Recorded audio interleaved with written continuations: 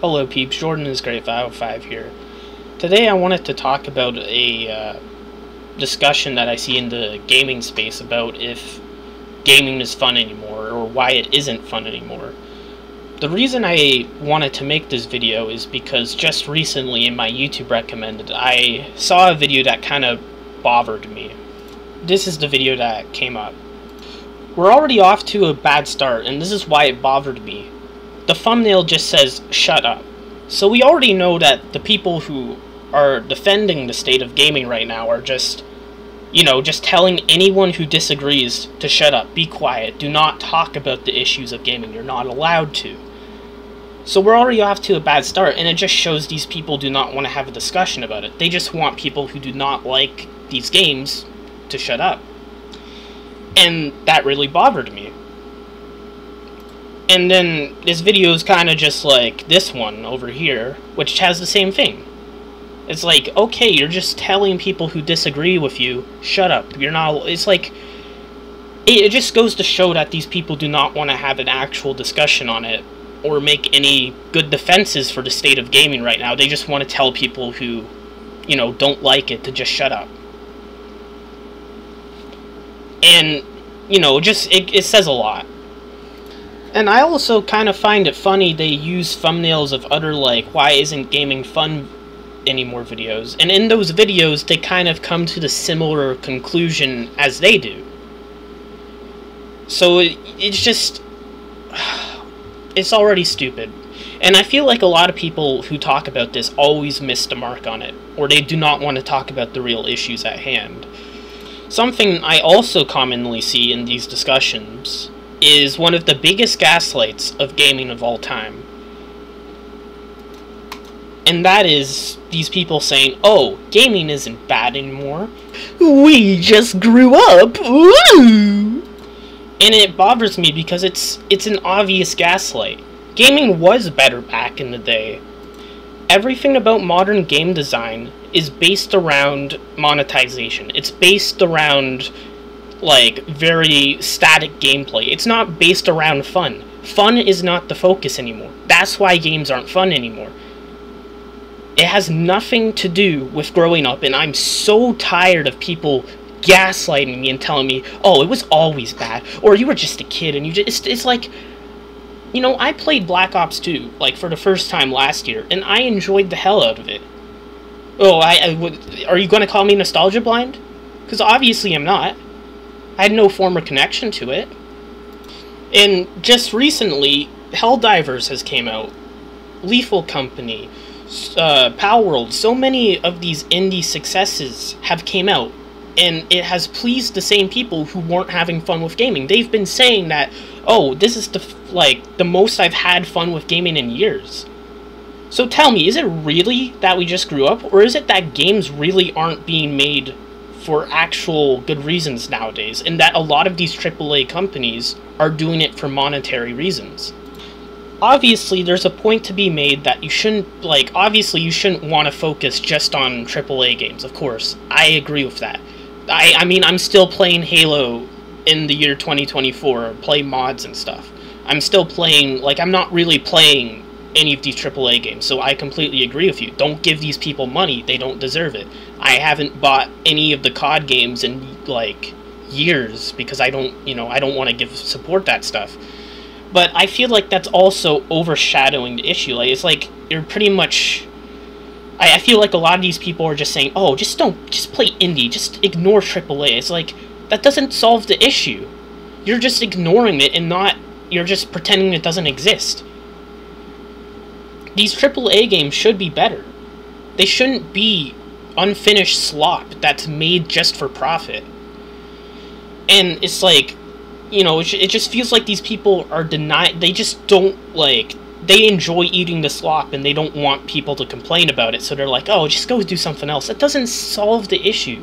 You're just allowing the crappy state that we're in to keep going on.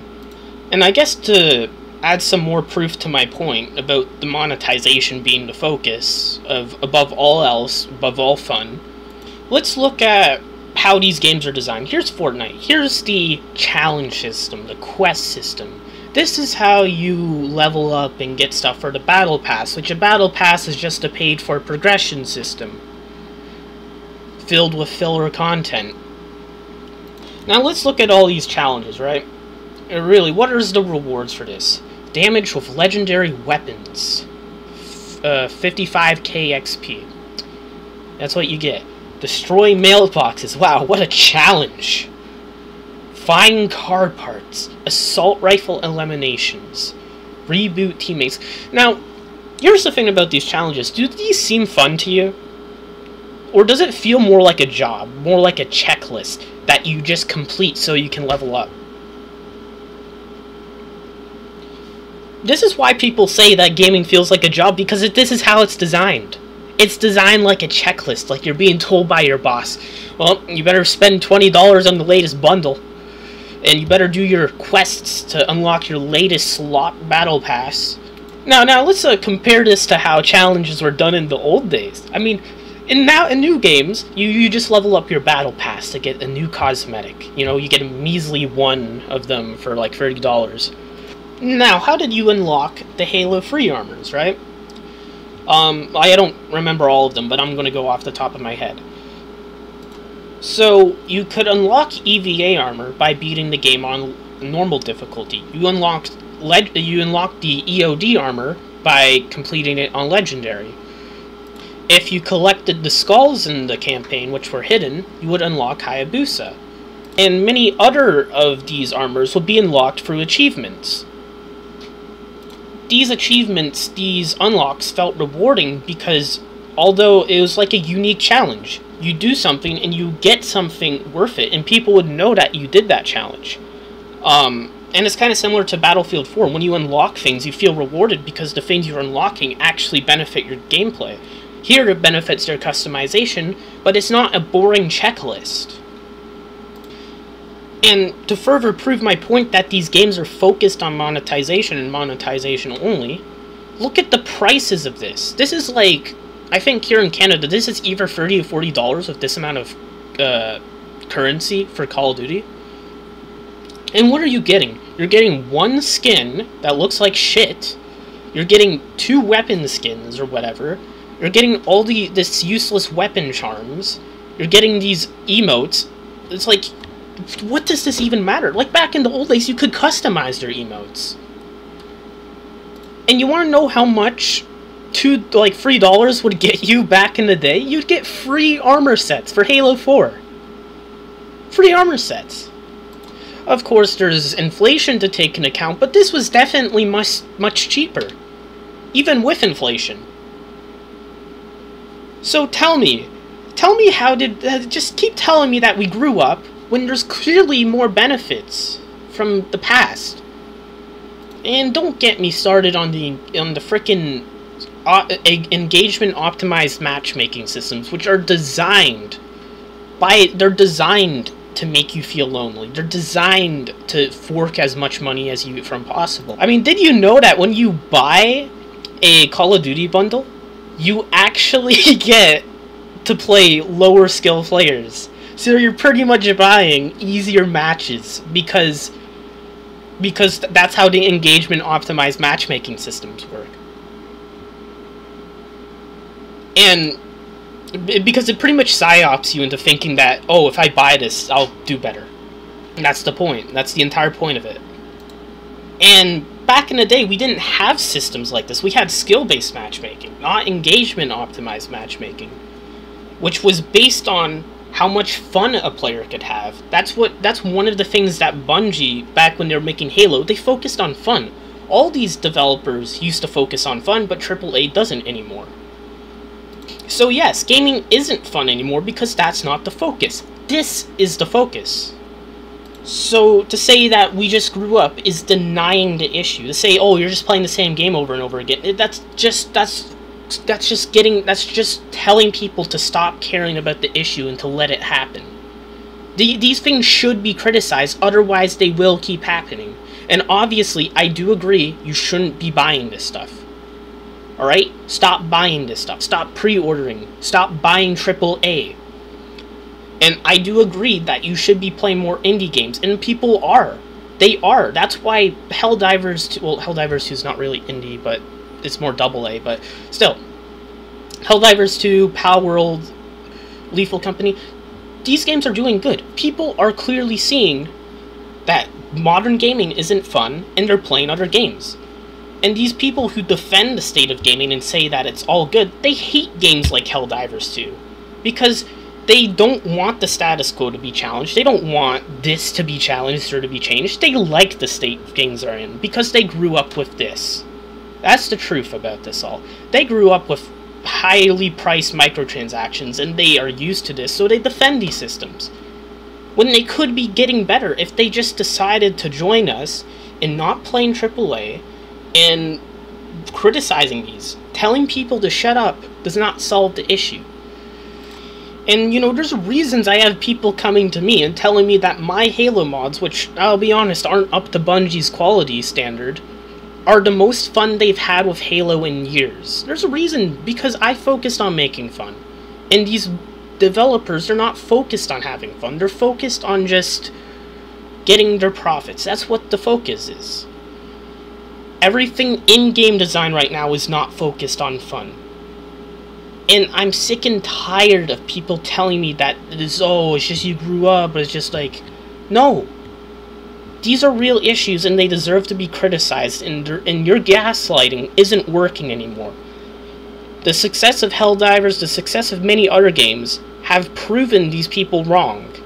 That gaming can be better, and that, you know, it has nothing to do with growing up. And I'm just, you know, I just hope this type of stuff ends soon because I'm just like, I'm just so fed up with it. And to top it all off, this is a comment on this video. Marty O'Donnell, of all people, says that, you know, that we're correct about it. That gaming isn't fun anymore. One of the industry's, like, biggest uh, veterans is saying this a lot of industry game developer veterans are admitting that, you know, the state of things is not good, that they could be better. So to deny the issue, to say that things are it's just it's just, you know, I just don't understand it. How can you defend eating so poorly?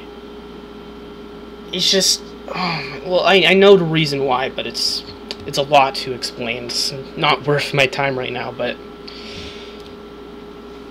there's there's only two reasons I can think why. Like I said, maybe they just grew up with these games and and like with filled with microtransactions, so you know they kind of just think that nothing's wrong with it, and they think everything's fine because they just don't know any better. And there's a another there's another more sinister reason. Uh, it has to do with corporate chilling and all that stuff. I mean, if you didn't know, a lot of YouTubers actually get paid out to give good reviews to games. And they kind of make these slogans for the game developers to use. Or no, the publishers, not game developers. I'm sorry, I'm messing up my words here. Like I said, this isn't scripted, but I've said my piece on this now, and you know, there's more. I've written a whole script about this, but I'm just like, I, I you know, I got stuff to do. I got mods and games to work on, and the takeaway I can give from this is that I think things are changing for the better now. I think AAA is going to fail going forward, and I think AA and indies are going to do really well going forward because the people who realize gaming isn't fun right now, they realize to put their money where it actually belongs, and the shills are angry about it because they want their AAA to succeed, but it's not going to succeed. Because why play is why waste your time with a AAA Battle Royale slop that barely focuses on any fun and everything's overpriced when you could be playing Helldivers? You could be playing anything else. You know? You, you could be playing one of my autistic dinosaur mods instead and having much more fun with that. And you know, I think that says a lot. it's, just like, it's just like it's just Five Nights at Chica's Party World is more fun than fucking playing Call of Duty. I think that just says a lot. That that that like absolute masterpiece of. oh my god! It's, but yeah, that's my opinion on it. And I just wanted to make this video because I just wanted to vent that all out. It wasn't supposed to be anything professional. You know, I think if things get better, I won't have to say anything about this anymore, which I'm pretty sure things are going to get better. You know, I got good stuff coming up. Uh, we got tons of cool games that are not AAA slop coming out, and I think that you know, going forward, it, it should be better now. So I just recommend, you know, enjoying the games that respect your time. Do not give in to this slop and acknowledge that things were better then. Remember how good things used to be so you can use it as a footnote footnote to improve the future. Um, and that's what I think about this. So thank you for taking the time to watch me make this video. I hope I actually gave a new discussion here because I didn't want to do the same video as before because like I said, I feel like a lot of people missed their mark on this. So yeah. Uh, thank you for watching. Uh, see you later.